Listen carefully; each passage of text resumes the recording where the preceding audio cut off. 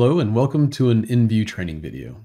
We've got a lot of new users and a lot of people are asking about how do I take an insert and put it in a box? How do I have that insert be resizable? Those kind of things. So I thought we'd just go through and do um, kind of an exercise and that'll help you pretty much understand the inserts, resizable library, those kind of things a little bit better. So let's just go ahead and start. We'll go get a common box, actually one that we were playing with today earlier. We'll get a FEFCO, let's just say 400. We'll scroll down and let's get this uh, first one here. Open it up in EngView and you can see we got our box. There we go.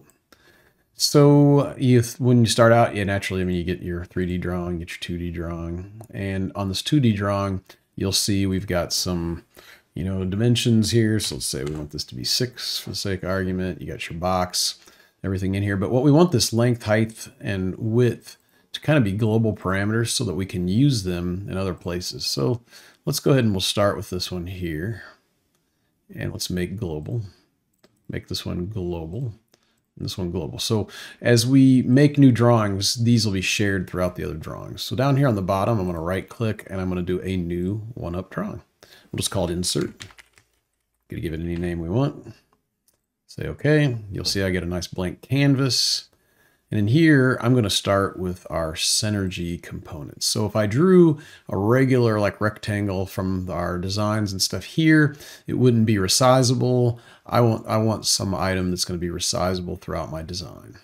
So let's take this three panel and we're going to drag it out and pop it there. And you'll see we get some new parameters x, y, or x, y, x1, x2, x3, x4 is kind of showing you where they're at and some dimensions. And if we uncheck this box, for example, in, in the expression here, we could give it our own variable name, but these variables don't already exist. So we'll go ahead and just use them, say, okay. Hit escape, that gets out of that tool. And let's go back over to our parameters. So now we've got our design that you can see. We got our parameters. I'm going to move this window over just a little bit. And let's just start filling some in. So if we click on here, you can see here's your X, your Y, or whatever. So let's actually take X2 first, and let's say we want that to be our length. So we're just going to put in L for that. And you'll see that this gets a lot bigger.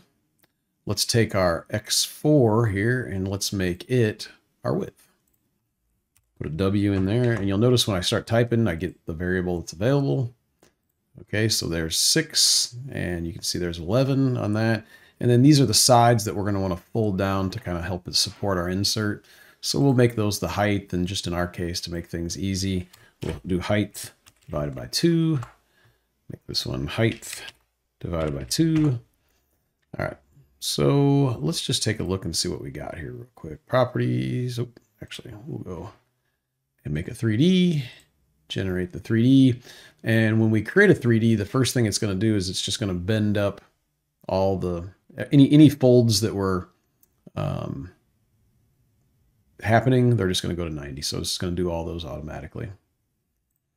So the other thing I'd like to do is um, I'd like to keep working on our insert a little bit. So let's put, we've got sides here. Let's put some uh, fold down sides on the other sides. So we'll go to Synergy Components, and this time we're going to get a individual component, a geometric shape, and a rectangle.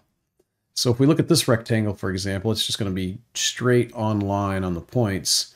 But we might want to make a correction for our material thickness. So when this folds in, so I'm going to use this one with a correction, drag it in. And let's drag it out there. Okay, so you see I have my shape in here, and I start getting some snapping points, and I want to snap it into this control point. So the way parametrics work is these are control points that are adjustable. And now we've just added a new um, object that are anchored off those control points. We're just going to use the, once again, these parameters as default. We'll drag in another object. And if you look at it, see this time it's, it's heading up in this up direction. We could um, mirror it, but we want to go ahead and we can just also snap it and rotate it around. We're snapped into those control points. Same thing we get our parameters. So let's go take a look at what we have on here. So this pH, if I zoom in, move over a little bit, I'll zoom way in on this so you can kind of see it. So you can see here, I've got this correction here that's in a little bit. So we're going to want to use our material thickness there. And then this is the length of that side. So in this case, same thing. We want it to be the height divided by 2. And then on either side, this PC1 and PC2, we just want it to be our material thickness. So I'm going to use a special variable, D, and as you can see, I start to type, it says drawing name. In our case, we're just going to use the default. We'll do the same here. D, leaving it blank, just use the default drawing. And you'll notice now that this distance from here to here is 0.059. If we go look at our properties of our material, our current thickness is 0.059 inches.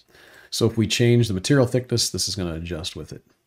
Let's zoom out. You can see the whole shape that we have now. I'll go back and look at our 3D.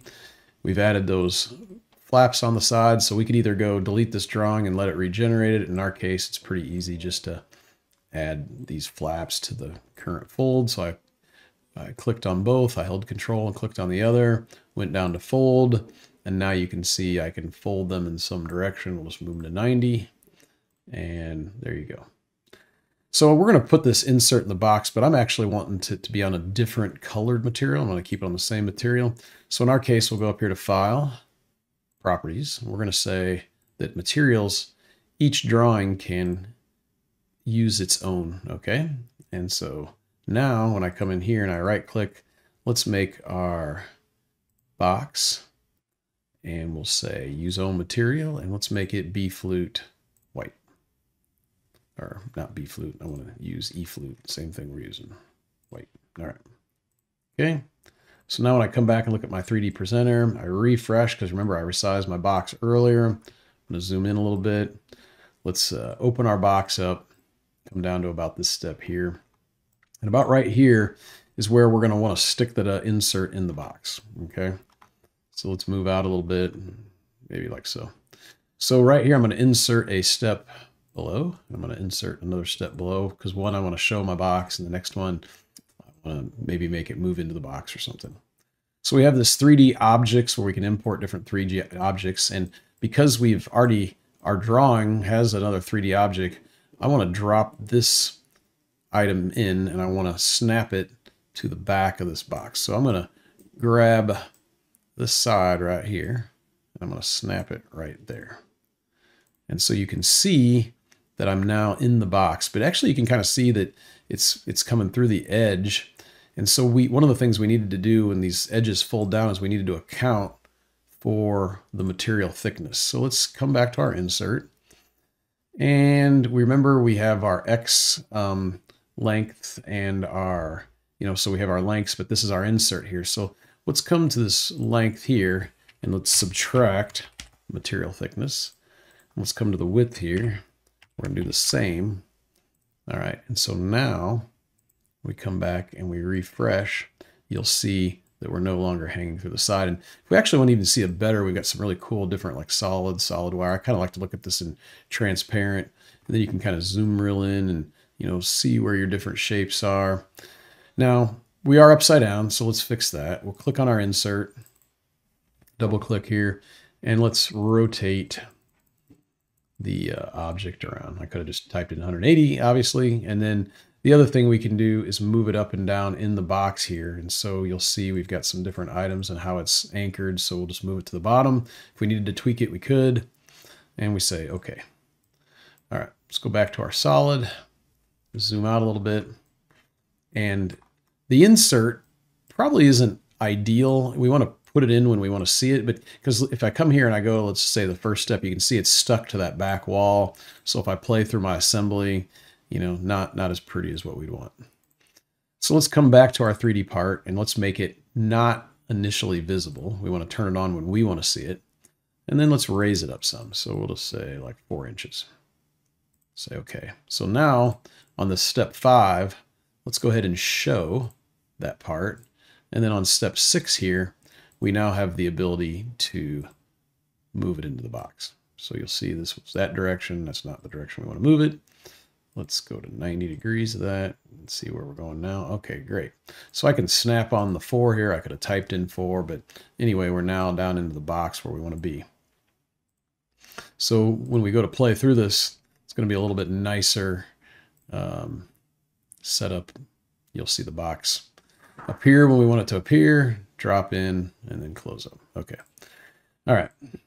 So now let's just continue to have some more fun with some parametrics. Let's uh, let's say in the middle of this insert, well, we want maybe some sort of cutout or something. So let's go grab a individual component and let's get a hole. And in our case, we want a hanging hole, okay? Because we want it to be anchored somewhere, but hang out in the middle of space.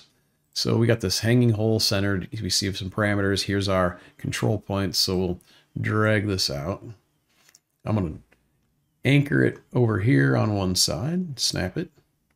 And then when I zoom out, I'm going to zoom in over here and I'm going to snap it there. So I get a new set of parameters. Once again, I'm pretty happy with these parameters. None of them are colliding. Say okay. Escape out of the last one. Let's zoom out a little bit and let's see what parameters we have here. Okay, so in our case, we picked a centered one. And so we're centered along this part of the box, but now we want to center this maybe up in the middle of here. So we've got this VOH parameter. And so if you we remember, this is our X, our width. Let's go take some look at our parameters again. Let's say if we want to center the center of this, this is off the bottom. We're going to need to get the middle of this, and then we're going to get the middle of the box. So we know width is our X4. Let's take X4 x4, and we're going to divide it by 2, okay? So you'll see that kind of puts it in the center, but it's going to be high. So even, let's make this a little bit so more obvious. Let's make, uh, what is it, HW and HL. So we'll make HL, let's say 4, for example, and HW 2. See, so it's not centered in the box. So we're going to also want to account for HW. So let's come down here and we'll minus quantity of HW divided by 2. All right, so now we're centered, centered. Everything looks pretty good. So let's come back, refresh, and there's our cutout. So now we say, oh, let's go adjust the size of the box around it. So we can go look at our insert and say, eh, maybe we want it to be um, seven by six or five. I guess we were already five. All right, or four. No, no, whatever. Okay, and so now you can see when we come back over here and refresh, now our whole box is based around that. Now, since these are all variables and you can work them in a number of different directions, the other thing we could go through is we could have said, hey, let's use this as our control. And then from here, we calculate a border and then we calculate the size of the box. And then that way, if you're creating a box with different size inserts and you always want it to change, you'll see it. And then let's just, for fun, let's go change the height of the box. So let's make it like four inches or three inches. Okay, so now our box is a little bit thicker. We refresh, and now you can see a little bit deeper. We're still half the height in there. And that's another thing that you could continue to play with. But notice everything changes. If you change material thicknesses, everything are going to change. So anyway, quick tutorial on how to put an insert in a box and make sure everything's resizable. Thanks for watching.